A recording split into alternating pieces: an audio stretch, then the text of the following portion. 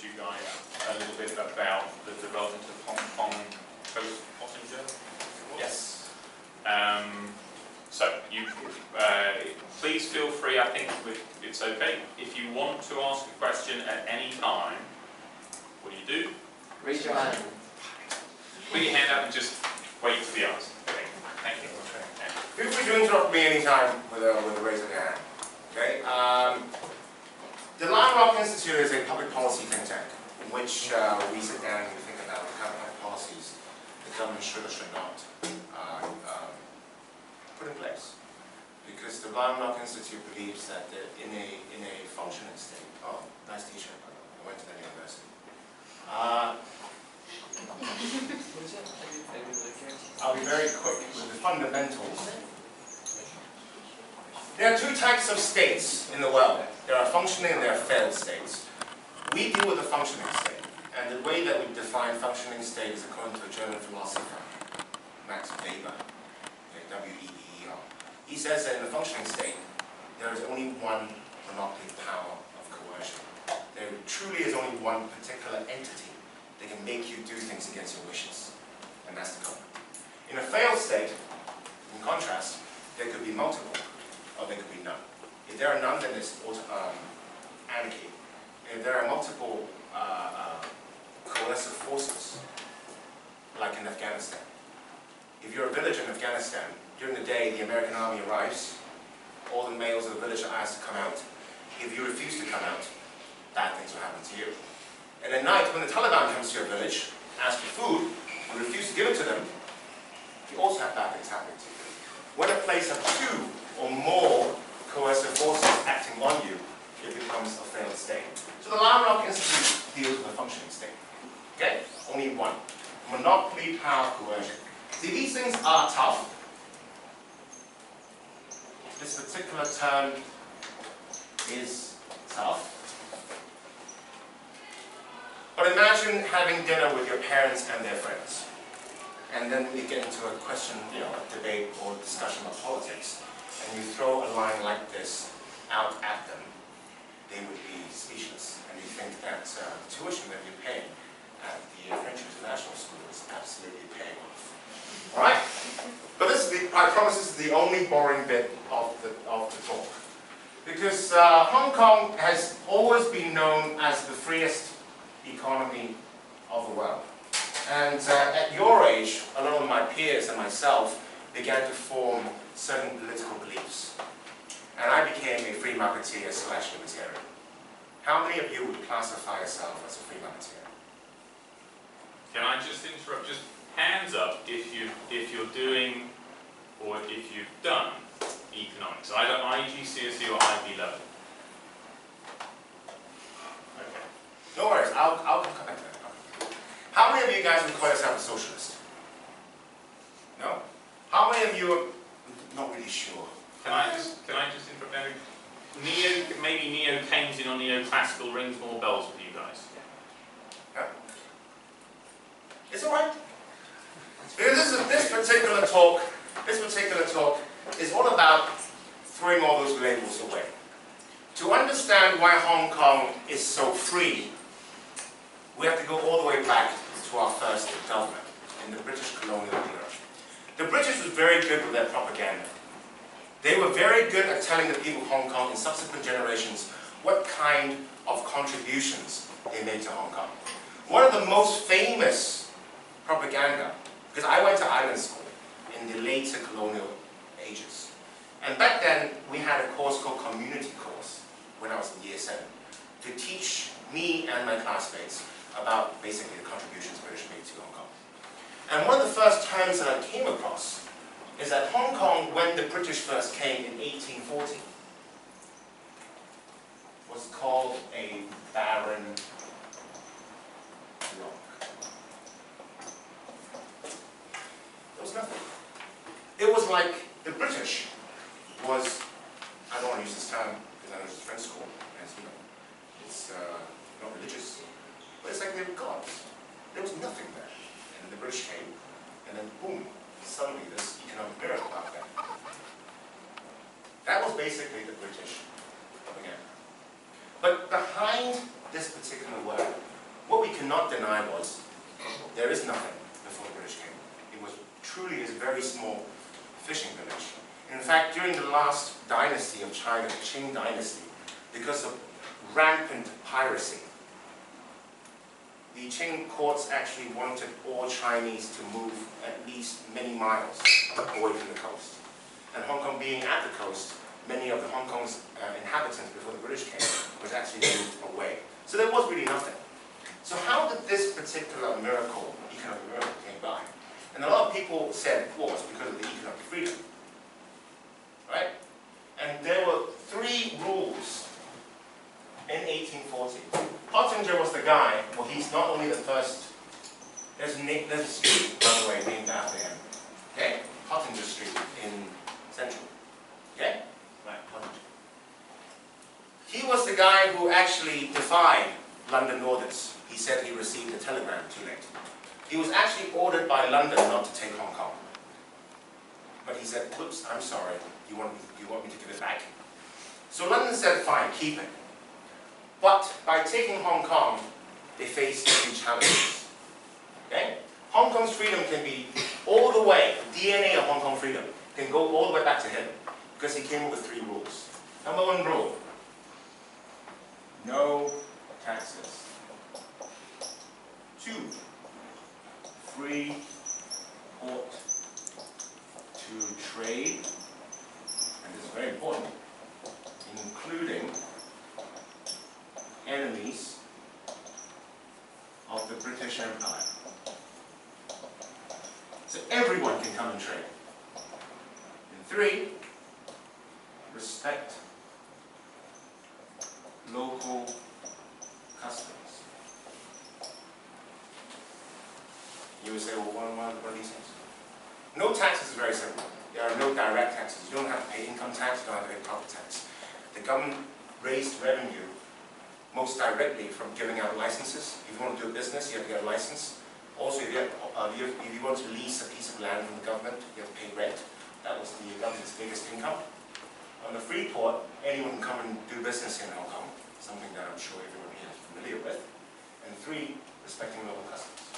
So the British today, when asked, well, why did Henry Pottinger set up these three rules? They would say that, well, you know, during the times in 1840s in London, there was an enlightenment movement going on. You know, people like Wilberforce was fighting against global slavery. Uh, the Economist, the, the newspaper, the magazine was founded to fight against uh, trade protectionism in Britain. But those were really lofty ideas back in London. Back now here in the colonies, we're talking about really hard-nosed governing practitioners. People who were simply interested in one thing, which is to maintain control of Hong Kong on behalf of Queen Victoria. Even 10 years after taking Hong Kong in 1850, the population of Hong Kong was about 100,000. There was less than 1,000 Caucasians, people in Hong Kong. With that kind of percentage, they were only interested in control. So why these rules?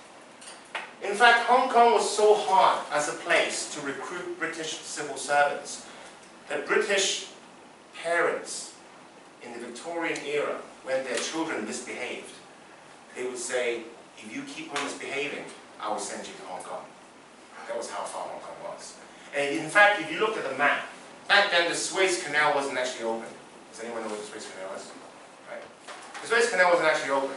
And uh, the, uh, the, the, the, battle fleet that protected Hong Kong was based in a city called Plymouth. And Plymouth is a city at the mouth of a river called Tamar River.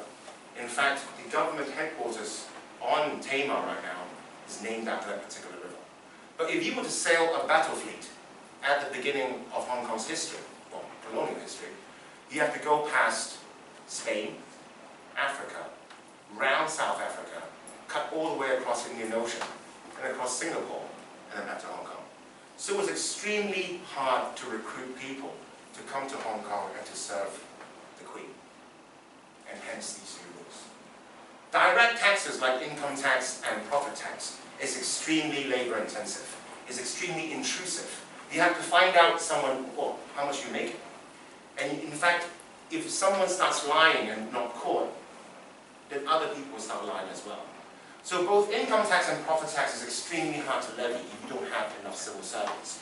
So knowing that, the British said, you know what, we're not even going to try it, levy that kind of taxes.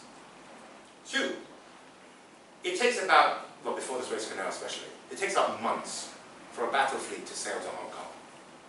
And in order to reduce the amount of soldiers you have to place in Hong Kong, you want to reduce the incentives for your enemies to attack you. And attacking anywhere costs money. So the British figured out, if I was to say anyone can come here to buy whatever they want, they won't attack us. In fact, in the eve of uh, the Second World War, well, according to you, when did the Second World War start? 1939, 1937. 1937. Any other versions? Invasion of China by 38.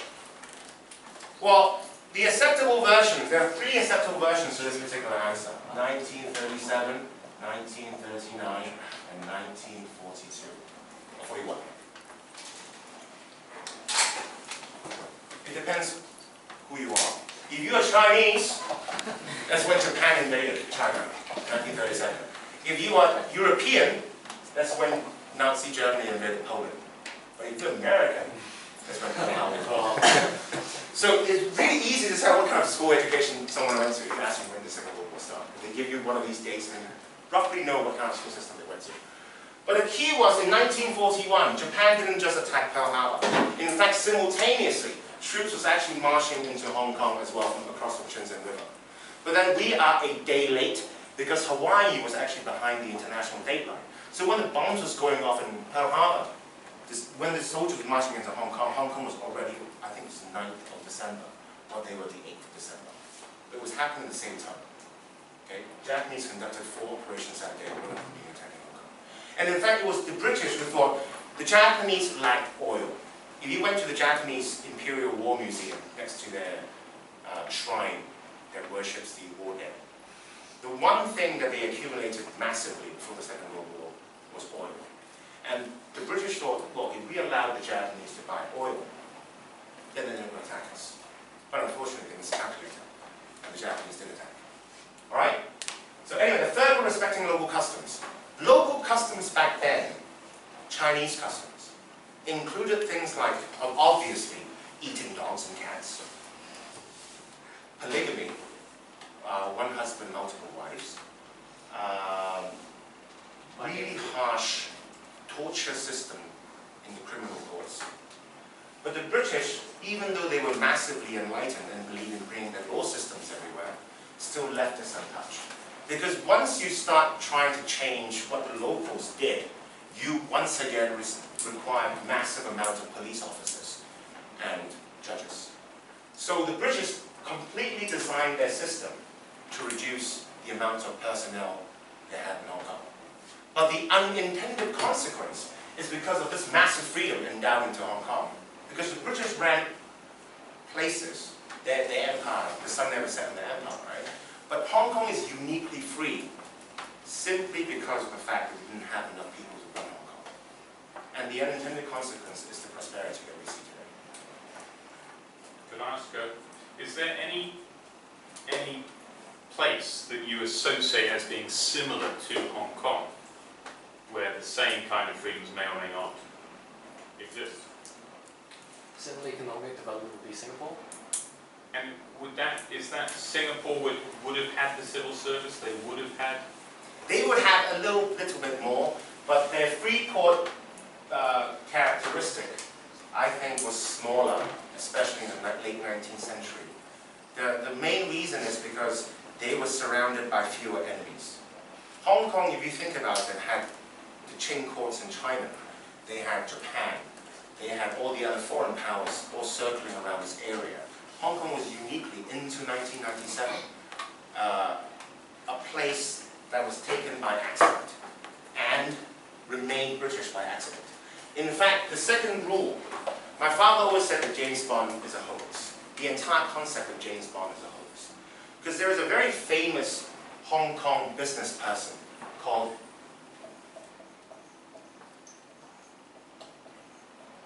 Henry Fok.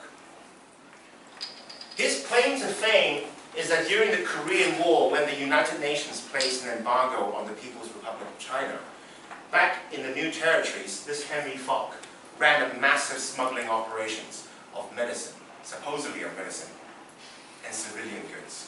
But uh, rumor has it he ran a lot of uh, ammunitions and other uh, firearms.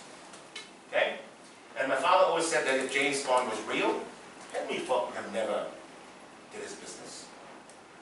But then one of my friends at the Rock Institute reminded me, it was because of this free port idea that allowed, the, well, not allowed him, but at least let the British refrain themselves from intervening with Henry Fok. Because in 1949, when the People's Republic of China was founded, if they wanted to, they could have marched into China and taken Hong Kong back. But with that one Korean War that happened in 1951, 52, it demonstrated to the People's Republic of China's highest powers that keeping Hong Kong as a British colony was helpful to them. Or else they, would have, they could have taken it anytime they wanted to. In fact, that was also why Britain was one of the first countries to recognize China, Beijing China. It took the Americans until the 1970s to recognize Beijing China. Before 1972, Washington D.C. recognized Taipei as the, uh, as the true government of China. Okay? But to fast forward to 1982. 1982. In 1982, the negotiations between Hong Kong and, or the negotiation between China and Britain over Hong Kong started. You might ancient history. But uh, Margaret Thatcher, the then Prime Minister, went to Beijing, had the first meeting. They basically, she basically shook hands, and she said, I had to go. Because Deng Xiaoping received her and said, Madame Prime Minister, welcome to China. Uh, I know you're here to negotiate about Hong Kong's future. We're taking it back you talked the, talked the details with my uh, premier Taxi and Deng Xiaoping just left at the same time. So Margaret Thatcher thought all kinds of possibilities was possible. But with Deng Xiaoping saying that, she said, I need to think about it. She left the room at the Great Hall in Beijing. There were these very long steps. And in front of hundreds of cameras, she fell. And the moment she fell, well, just before the moment she fell, it only took five Hong Kong dollars to buy one US dollar. Within two weeks of her falling, it fell to 10 Hong Kong dollars. It basically depreciated in half. There was massive panic in Hong Kong. And one of the uh, rumors contained in many memoirs, actually, of people involved in negotiations, was Margaret Thatcher actually went to Deng Xiaoping and said, well, could we extend the lease of Hong Kong? And lots of Hong Kong people today, in fact, this particular discussion comes up over and over again with, between your parents and your parents' friends. They would say, hey, you know what? Margaret Thatcher actually asked China whether they can extend the lease. And all these people think that that's a really crazy idea. I mean, she must be idiotic to think that. But if you think from this particular perspective, if the Chinese wanted to take Hong Kong, they could have done so 50 years prior to 1997. They didn't have to wait until 1997. But Hong Kong had demonstrated time and time again to be of use as a British colony to mainland China. And therefore Margaret Thatcher thought that could be a possibility. And even Deng Xiaoping himself thought Hong Kong keeping its way of life is very important to China's development. But then, instead of keeping it as a British colony, he came up with a concept.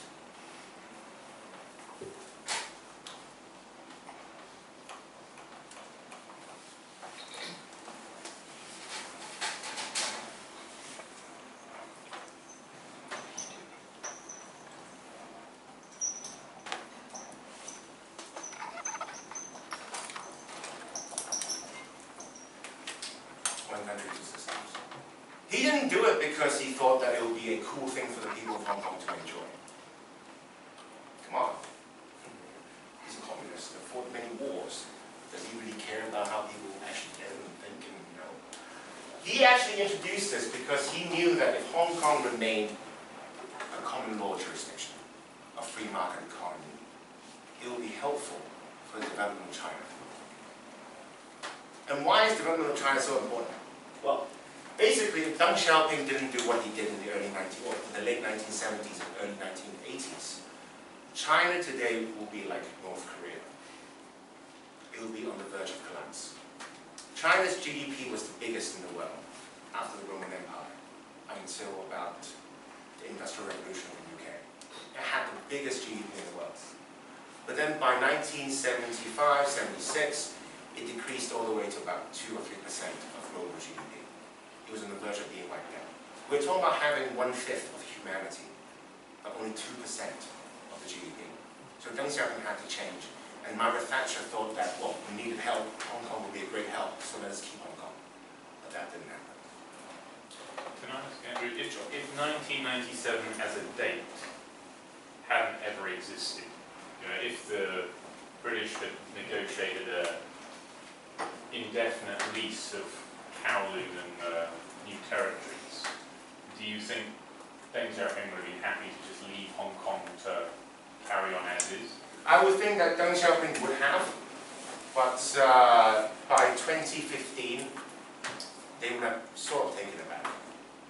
Um, any questions so far? Where does the opium war fit into this? Oh, the, the, uh, hmm, this is a very interesting question.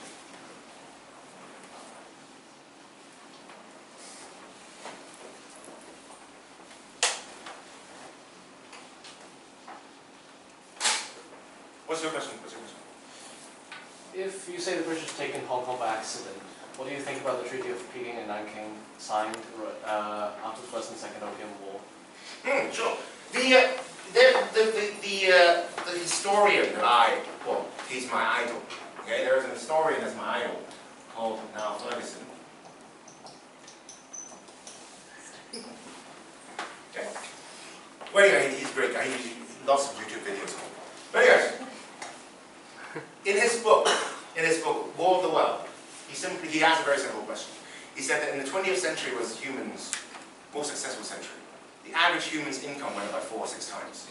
What they can consume has increased even more because of technology. Yet 20th century was also the bloodiest century, right?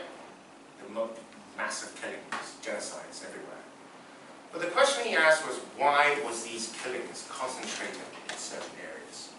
Why wasn't there massive killings in Somalia or Argentina? Why did it happen a couple of times in Yugoslavia, Cambodia, China, Ukraine? And the, well, his observation was that you have to have three factors. The first one is that you have to have ethnic conflict.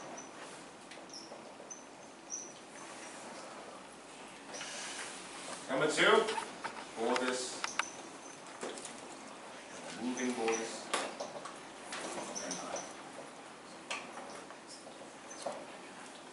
The Opium War. The British expanding and expanding and expanding and expanding. The, the boundary of the British Empire basically touched every single other empire in the world. And if they touched an empire that was weak, like the one in China, massive bloodshed would happen. And at the end, the British would take what they wanted. And back to the question of whether if, they, if they're taken in perpetuality, right? Hong Kong was taken forever. Well, not, not in perpetuality, but if there was not that date, of le- end of the lease. Right. The, uh, because of China's itself growing in the late 1980s and mid 1990s, assuming that that was the only difference, with the emergence of China, Chinese would have figured out we were taking Hong Kong back. And what would happen to us is exactly what happened to Macau. Macau was a Portuguese colony for, for, for over 400 years. And at the end, the Portuguese shrank back, and the Chinese expanded and took Macau back right? So my question about how the opium, the opium war was simply when empire borders were moving. Opium was simply a item that enabled, or at least was the symptom of that particular, I won't call it disease, but that was the momentum at the end. You know, you see earthquakes, but it's the uh, molten lava and magma that's moving on the empire borders that created the Opium. You can't really, you, I, I wouldn't say, oh, it was because the Chinese was addicted to opium and the British, British was selling the opium to China and therefore Hong Kong became a British colony. It was because the British was basically expanding everywhere and they simply needed an excuse. And the excuse in this particular case happened to be opium. Right? Any other questions? No. But this is a very interesting point. Because what you see in Hong Kong right now, I would say that you have the genesis, the beginning of something that could be very bad. Okay? Because the uh, Ferguson said genocide needs three particular ingredients. Ethnic conflict. Even if two groups of people are living together side by side, you look at simple statistics like are they marrying each other? Are they working with each other? Do they even dress like each other? They can be completely sort of alike. But if you were to ask one member of one group to identify a member of the other group, can be done. And there are then conflicts happening. And if you ask one group of individuals to describe the other group, they would call them in German, Untermensch, which is subhumans. That's what the Nazis used. Okay? The second thing is happening moving borders of empire. When Deng Xiaoping thought of one country, two systems in Hong Kong, he thought that he could perpetuate the system we had in Hong Kong for 50 years, until 2047. But if you were to look at 2015, today, what has happened in the last 18, 17 years? The way of life in Hong Kong is changing. Okay? So, in effect, Hong Kong's, well, Hong Kong used to be the border of British Empire, and Deng Xiaoping wanted to kick that can down the road for another 50 years. Because of neglect, I would say neglect, it's starting to move. And on the question of ethnic conflict, there is now a very big political confrontation in Hong Kong. If you do get the chance to talk politics with the parents and parents' friends, with the locals, the number one overriding political issue nowadays in Hong Kong is mainland Hong Kong conflict. It trumps everything. It trumps poverty, global warming, democracy. Democracy, I think, is merely an extension of this particular conflict. Hong Kong people, unfortunately, calls mainlanders what? Does anyone know what term they use? Parasite? Is it parasite? Close. Locust. That's it, who said that? Right. Locust. And what does the, uh, well, so-called quote-unquote blue ribbons call the yellow ribbons? Dogs. Who are the blue ribbons? Anti or pro Beijing, China? So, the pro-establishment types calls the yellow ribbons, the, uh, the troublemakers, dogs. And the, uh, yellow, yellow ribbons, the uh, democracy fighters, are calling the, uh, the Beijing, you know, lackeys, locusts. So you already see the beginnings of this viewing the other side as subhuman. But unfortunately, if you look at examples from places like Yugoslavia, Cambodia, Ukraine, with this particular view of the other side, for some reason, sexual violence has to always be. In Yugoslavia, for example, even in the 1990s, there were rape camps. Okay? Even though you view the other side as subhuman, for some reason you have to violate the women. Right?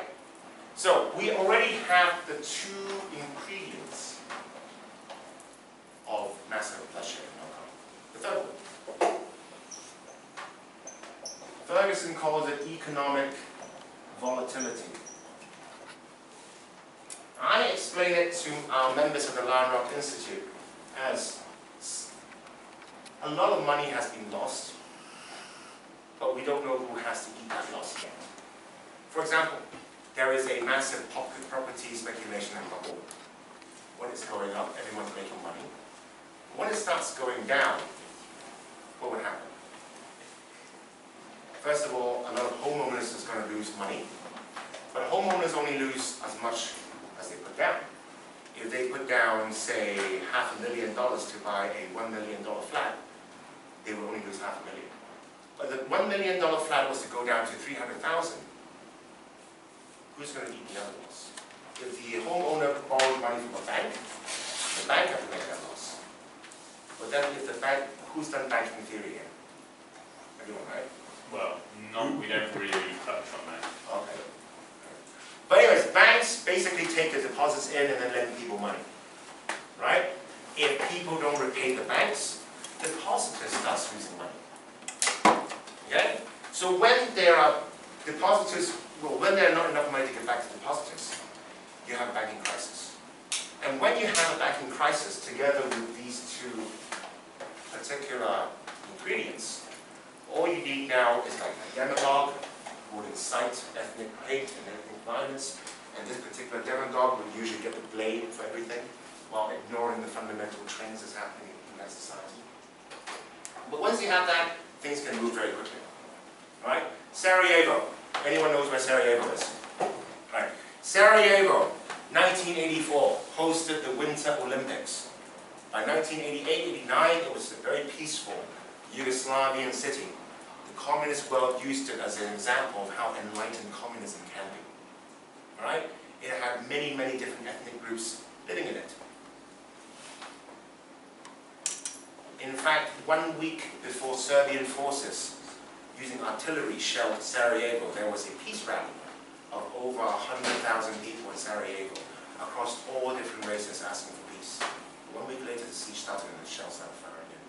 So things can happen very, very quickly. But the Lion Rock Institute do study these kind of things and try to help solve them. These might be very heavy stuff. There are other small, smaller policies that we look into. For example, how is how should electricity be generated in Hong Kong? Simple stuff. Right? But if you're talking about the very big trends that's happening, because a lot of people talk about geopolitics in the world, but they ignore the geography. Okay? And if you ask me whether Hong Kong can carry on, if Hong Kong can carry on peacefully,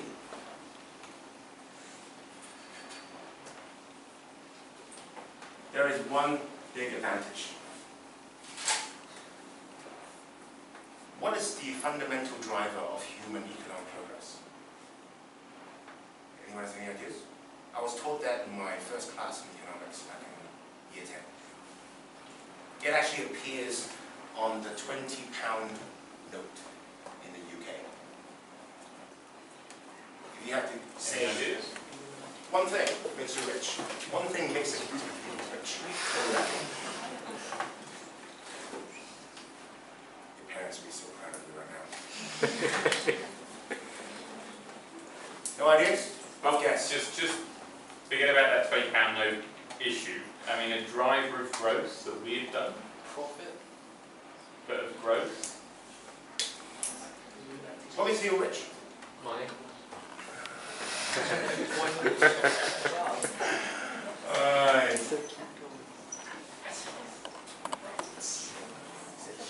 To the Rock Institute, within our institute, I would say specialization is what makes humans, you know, you, you focus on what you do best, and you become rich. And you, of course, if you only make one thing, you have to start trading. Hong Kong has the advantage of being at the mouth of a river. Even in this 21st century, moving things on water is the cheapest way of moving things. The second cheapest way, or the cheapest way on land of moving things is by train. And even by, even cost per ton to move one kilometer, um, water is about one quarter of the cost of moving things by rail. Right? So historically, when you live next to a river, every citizen who lives at the river's edge can specialize in what they're good at. And if the entire river is full of fertile land, then you have high degrees of specializations occurring, and people can start trading, and they become rich. And usually at the mouth of these rivers grows huge financial centers. Hong Kong is one of them. So if you ask me, can Hong Kong keep its prosperity? As, as long as this specialization can take place and Hong Kong remains a free port, then this particular growth can still occur. But you have to, have to, have to, have to remember specialization is the number one driver of human progress. Right? If there's one thing you take away from this, I mean, you can forget about Henry Pottinger and all that stuff. If someone asks you, well, you know, how, how, does how, how did the human race get rich? Specialization. The more specializing you get, the richer you become. Okay? So that would be the ultimate, despite all my doom and gloom about Hong that would be my ultimate uh, view of Hong. Yes. Any questions? Can I ask, um, what, I've got a couple of friends who talk about the fact that Used to have a special place because it was British administered on the edge of China. And as far as they're concerned, it's losing ground now because other Chinese cities are taking over, they're mimicking Hong Kong now, moving ahead of Hong Kong. Uh, any thoughts as to whether that will happen or?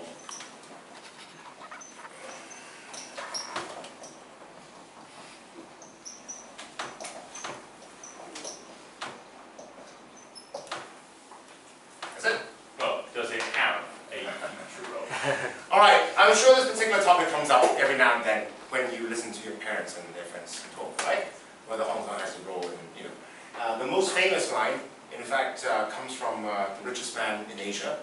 Uh, sorry, the girlfriend of the richest man in Asia, Li Ka-shing's girlfriend. Li Ka-shing's girlfriend once, about a few months ago, was interviewed by a newspaper at a press conference, and uh, she was asked, um, you know, well, what is Hong Kong going to do? Why is Li Ka-shing moving his companies from Hong Kong to Bermuda, to registration? And uh, after saying a lot of things that didn't really mean much, she dropped the line and said, Hong Kong people should start adjusting their expectations.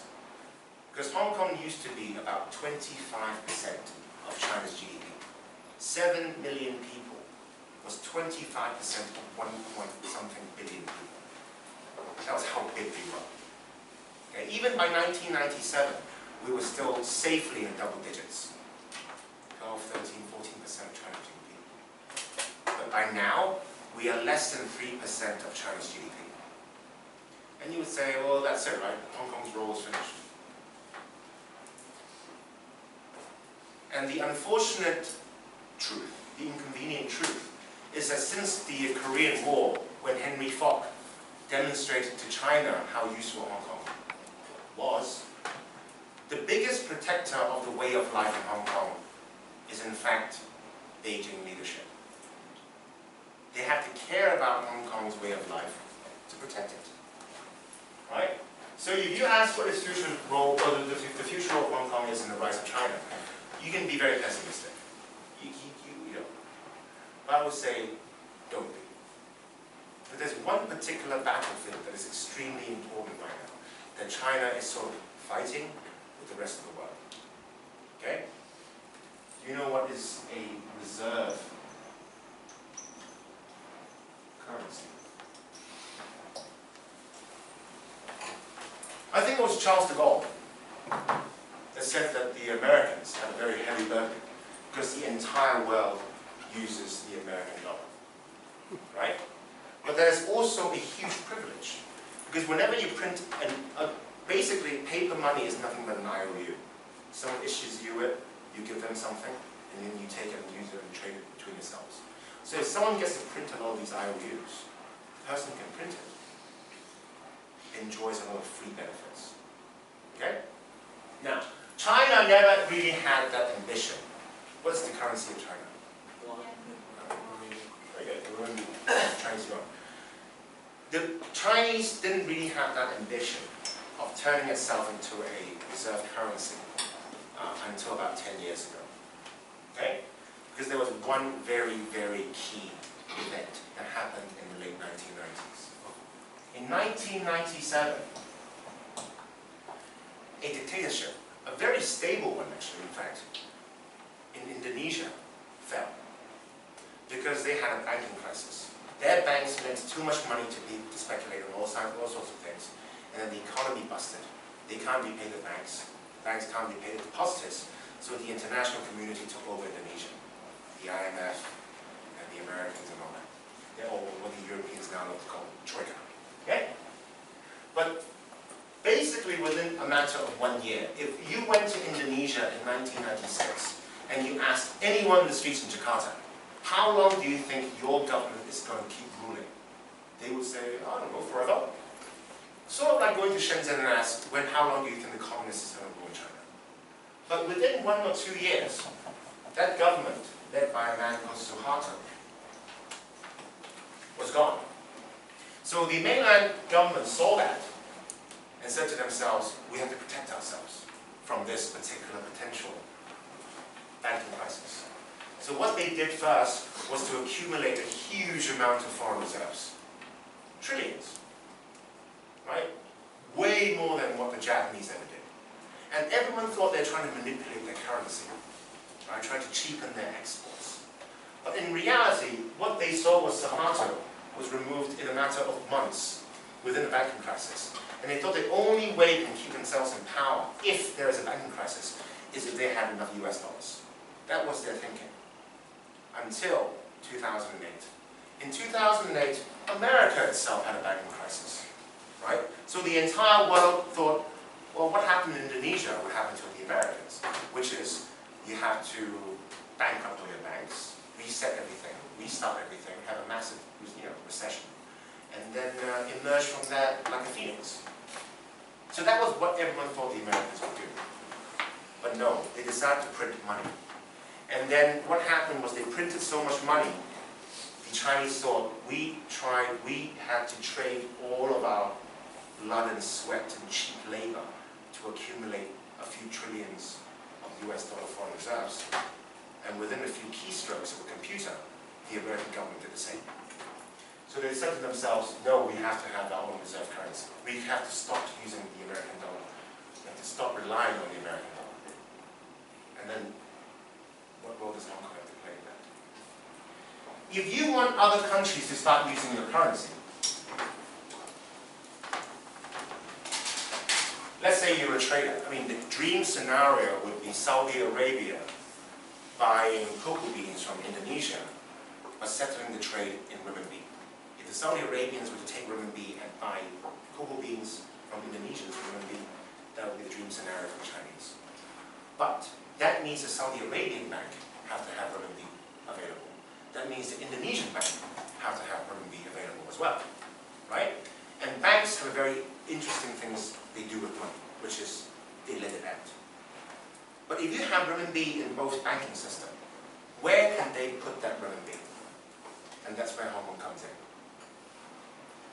About seven or eight years ago, Shanghai launched something called Panda Bonds. Panda bonds are basically bonds issued in Shanghai, basically IOUs, in which banks can buy to park their renminbi. If you have renminbi in your banking system, come and buy our Panda bonds. But then if you're an Indonesian bank and you saw a bond issued in Shanghai, the first question you always ask when you lend money, money to someone is, what happens if you don't pay me back? Right? So if someone doesn't pay you back in Shanghai, you take them to court in Shanghai, right? Yes or no? You think you win? so when the Panda Bond launched, no international investor bought them because they simply couldn't trust the, uh, the mainland banking system. So about seven or eight months down the line, the uh, Central Bank of China, together with the finance minister, called down to our financial secretary in Hong Kong and said, you know what, can you do something about this? And uh, financial secretary of Hong Kong, John Tsang, called up the bankers and said, hey, there's a new business line. Are you guys interested? And the bankers were like, wait, free money, let's make some money. So on behalf of many Chinese companies, there are now bonds called dim sum bonds. Yes, bankers are familiar with them and stuff. These are bonds that borrows renminbi, but issued in Hong Kong. And suddenly, international take-up through these dim sum bonds went through the roof. And you see lots and lots of banking systems in the world now carry these dim sum bonds in their system. When they have RMB, they'll buy these dim sum bonds issued in Hong Kong. And the reason is because they trust the court system. They know that if something, if the person issuing the bond doesn't pay you back, you can take them to court in Hong Kong. So back to the question of what role can Hong Kong play, I would say the biggest role Hong Kong play with the rise of China going in the future is the international, internationalization of the renminbi.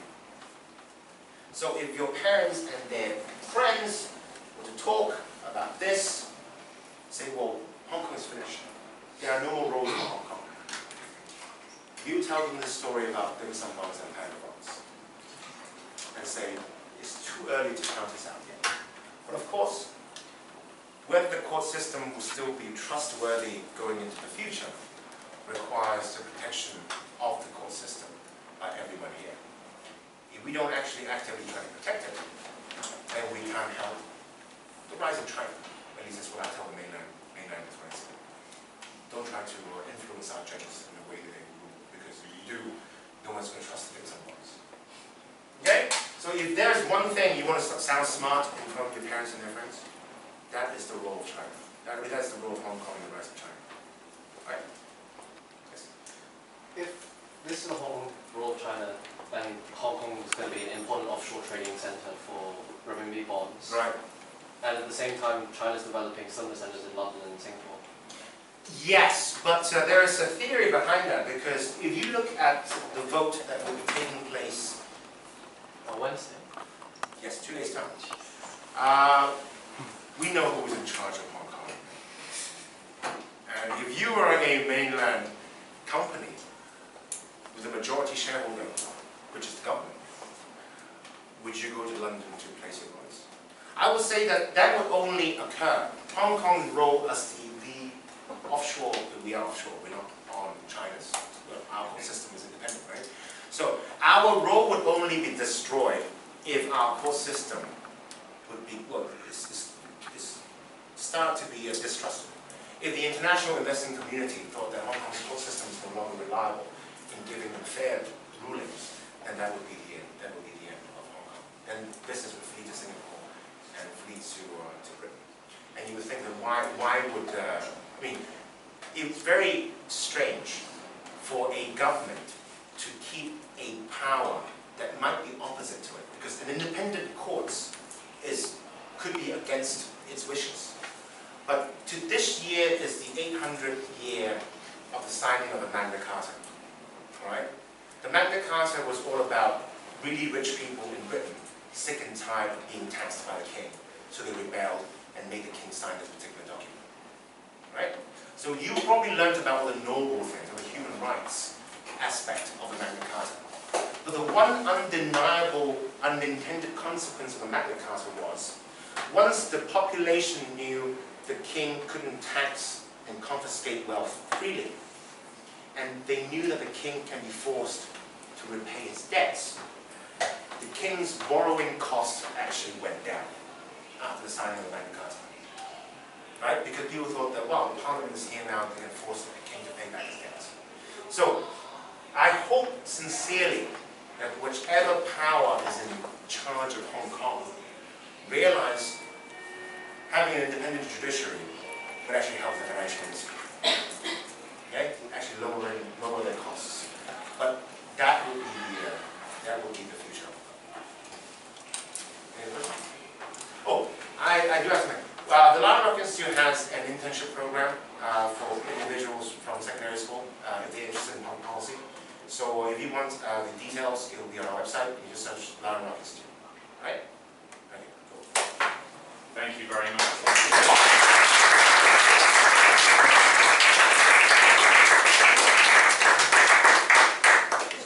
I was, I too boring. No, no, that was, that was very good. Uh, do, do you want, Oh yes, if you want my card, you have the card. Okay. If anyone wants further information, just come and ask me. Now, uh, for lower 6D economists, if you can stay here, and others, yeah, yeah, yeah. yeah.